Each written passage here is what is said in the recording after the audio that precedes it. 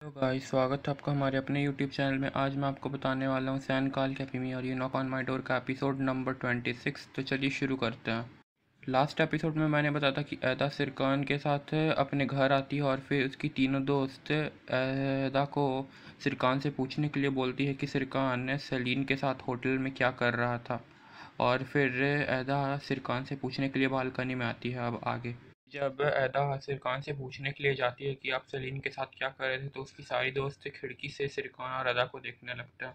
और फिर अदा चुपके से सिरकान को बता देती है कि मेरी दोस्त देख रही है आपको और फिर आप अच्छे से रिप्लाई करिए इसका। और उन्होंने आपको आज सलीम के साथ होटल में देखा था, इसलिए उन्हें शक हो रहा है आपके ऊपर अब कि आप उसके साथ लगे हुए हैं।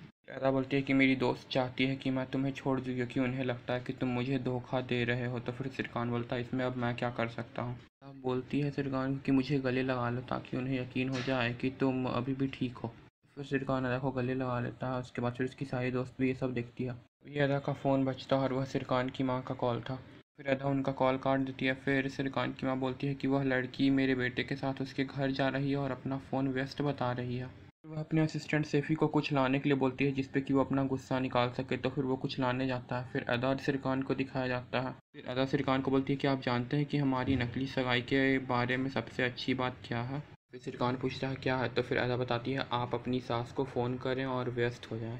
सिरकान अदा के साथ बालकनी से अंदर आ जाती है और फिर अपनी दोस्तों को बोलती है कि सिरकान और सलीन वहाँ पर संयोग से मिले। बोलती है, सिरकान, मुझे सब बताने ही वाला था, लेकिन मैंने फ़ोन नहीं उठाया क्योंकि मैं ऑफ़िस के वर्क में थोड़ा बिज़ी थी।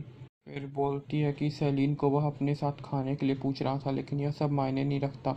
और फिर बोलती है कि यह सब मैं आपको बाद में विस्तार में बताऊँगी और फिर वहाँ से चली जाती है। ऐदा के जाने के बाद ऐदा की तीनों दोस्त सिरकान के पास आती हैं। बोलती है, यदि आप बिज़ी ना हो तो हम तीनों आपसे मिलना चाहते हैं। फिर सिरकान को खाने के बैठक के लिए आमंत्रित करती है और फिर बोलती है कि चलो एक दूसरे को जानते हैं। मैलो बोलती है, ये सब हमें अच्छा लगेगा, क्या आप आएँगे? फिर सिरकान बोलता है हाँ ज़रूर, मुझे भी अच्छा लगेगा आने में, लेकिन तुम्हें पता है, बहुत कुछ यह होगा, आपके पास समय है।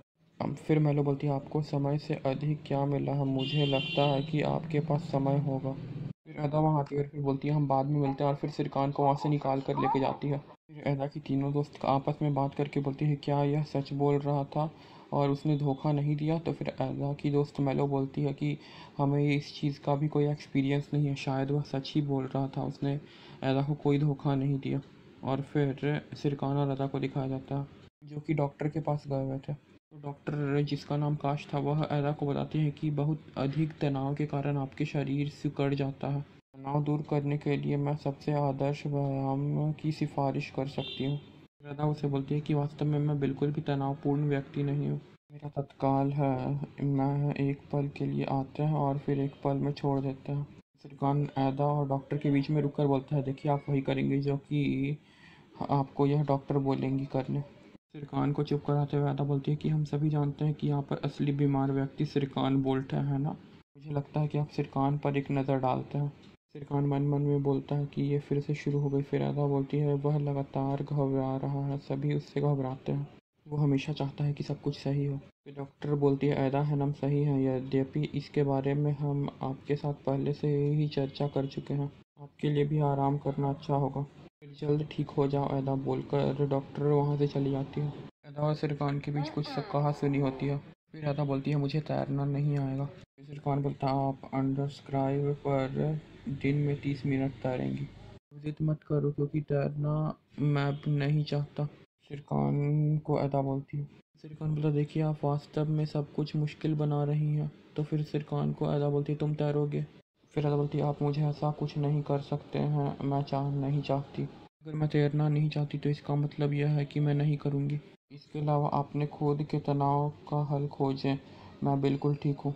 सिरकान अदा को याद दिलाता है कि यदि आपको मैं याद दिलाऊं तो हम एक अनुबंध में हैं। यह कहता है कि जो तुम चाहोगे वही होगा।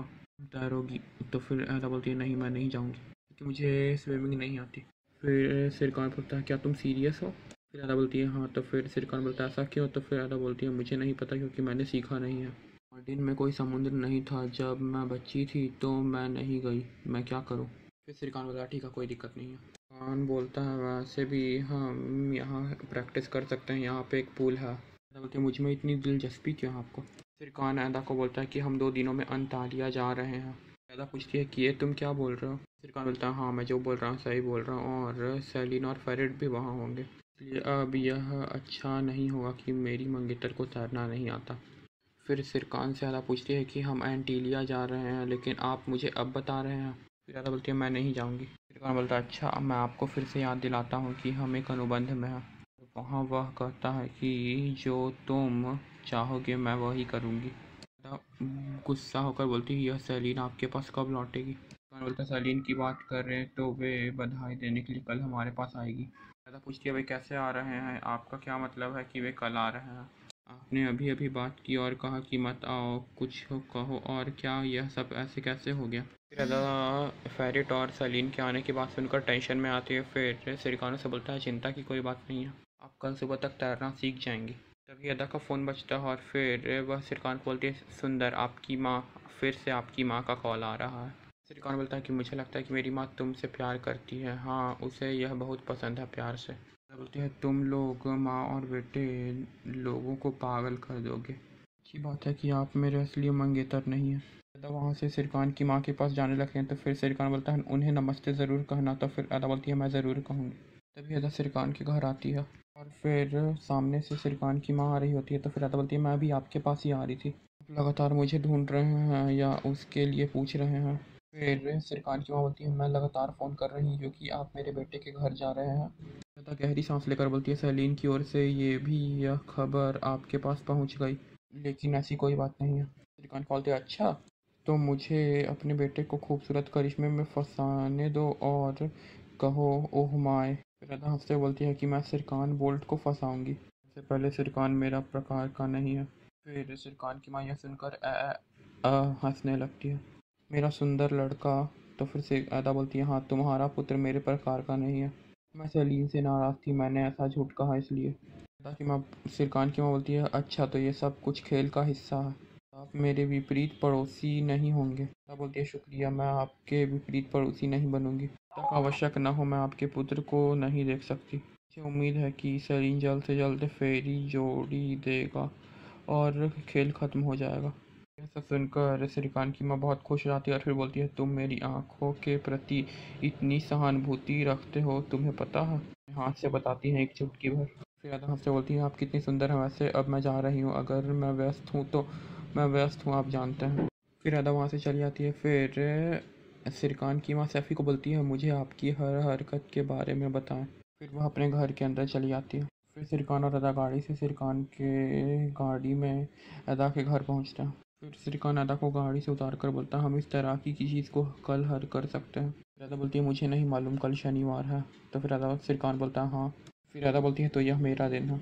मुझे नहीं आने का अधिकार है, मैं नहीं आ सकती। श्रीकांत बोलता, आप सही हैं, लेकिन आपने सलीम से कहा कि हम हर चीज़ उसी घर में गए थे। तो दुर्भाग्य से आप परिणाम भुगतेंगे। फिर अदा बोलती है, मैं हर दिन आपके साथ गुजारने वाली किसी चीज़ के बारे में सोचती हूँ।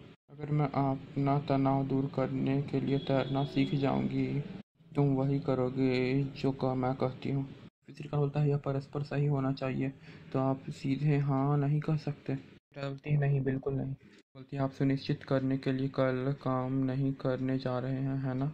तो तुम कहते हो सेलिनर आएगा। हमें तैयारी करने की ज़रूरत है। फिर श्रीकांत बोलता है मैंने कहा मैं वैसे नहीं जाऊँगा। तोता बोलती है अच्छा ठीक है फिर मिलते हैं। फिर अपने घर के अंदर चली जाती है और श्रीकांत अपनी गाड़ी से चला जाता है अदा अपनी चाची के पास आती है। उनसे उनके हाल के बारे में पूछती है तो बोलती है, मैं ठीक हूँ, अपना बताओ। टाइम अदा की चाची फ़ोटोज़ ग्राफ्स देख रही होती है। इसमें अदा के बचपन की फ़ोटोज़ दिखाई जाती हैं उनके मॉम डैड के साथ। फिर फ़ोटोग्राफ से रिलेटेड वह अपने पास्ट के बारे में अपनी चाची से बात करती है। फिर रात हो जाती है और फिर फेरिट और सलीन को दिखाया जाता है और फिर फिर फेरिट सलीन से पूछता है, तुम मुझे ऐसे क्यों देख रही हो? तो फिर सलीन बोलती है, तुम बहुत सुंदर हो, मैं अपनी आँखें नहीं उठा सकती। सलीन बोलती है अच्छा था कि हम आज बाहर गए।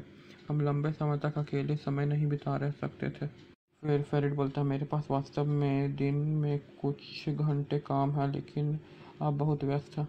अन्यथा मैं आपके साथ हर पल बिताने के लिए तैयार हूँ। फिर सलीम बोलती है, आप मेरे साथ हर सेकंड कैसे बिताना चाहेंगे और अपना काम कैसे आसान करेंगे? सलीन से फेरिट पूछता है, यह सब कैसे होगा? तो फिर सलीन बोलती है हाँ हम परामर्श करेंगे। आप मुझे बहुत सहज करते हैं। हम एक दूसरे को भी देखते हैं। फेरिट पूछता है, क्या तुम सीरियस हो? तुम ये करना चाहती हो? मेरा मतलब है, मुझे यह बहुत पसंद आएगा, लेकिन सिरकान उसके बाद उस होल्डिंग को जला देगा। फिर सलीन बोलती है, यह सबकी चिंता तुम मत करो। फिर सलीन सिरकान की माँ को कॉल करती है। फिर वह अब सिरकान के पिता को कॉल देती है और फिर बोलती है कि सलीन आपको ढूंढ रही है। सलीन सिरकान के पिता को बोलता है, हेलो अंकल एल पैक्टिकन शुभ संध्या, आप कैसे हैं? फिर सिरकान के पिता बोलते हैं, मैं ठीक हूँ, आप बताओ। ठीक है ना? तो फिर सलीन बोलती है, आपके रास्ते पर दरअसल मैंने आपको किसी चीज़ के लिए परेशान किया। हम अपने होल्डिंग के लिए एक सलाहकार की सिफारिश करना चाहते हैं। फिर सिरकान के पीछा पूछते हैं, किससे? और कौन कि कौन है वह सलाहकार? तो फिर सलीन बोलती है, फेरिट। सिरकान के पिता बोलते हैं अच्छा आपके मंगेतर, क्या आप चाहते हैं कि वह होल्डिंग के सलाहकार हों? फिर सलीन बोलती है हाँ सिर्फ़ आपकी मर्ज़ी से एल्पेक्टिकन सर फिर सिरकान के पिता इसे मंजूरी देते देते हैं मतलब कि इसका मतलब है कि अब सलीन के साथ फेरिट हर टाइम रहेगा, कि वह अब उनका सलाहकार है। वेल, आज का एपिसोड यहीं पर ख़त्म होता है। आप देखेंगे कि अब जब सिरकान फेरिट को हमेशा सलीन के साथ देखेगा तो उससे क्या होगा और फिर क्या स्विमिंग सीख पाएगी कि नहीं? और उसकी दोस्त लोगों का क्या रिएक्शन होता है जब उन्हें पता चलेगा कि सलीन और सिरकान एक दूसरे के को करीब लाने के लिए एजा सिरकान से साथ मिलकर नाटक कर रही है। वेल बाय बाय गाइस अगर आपने अभी तक चैनल को सब्सक्राइब नहीं किया तो सब्सक्राइब कर दो और लास्ट के एपिसोड्स नहीं देखे हैं तो फिर नीचे प्लेलिस्ट में डिस्क्रिप्शन चेक करो। माफ़ करिएगा मतलब कि डिस्क्रिप्शन में प्लेलिस्ट चेक कर सकते हैं। और बाय बाय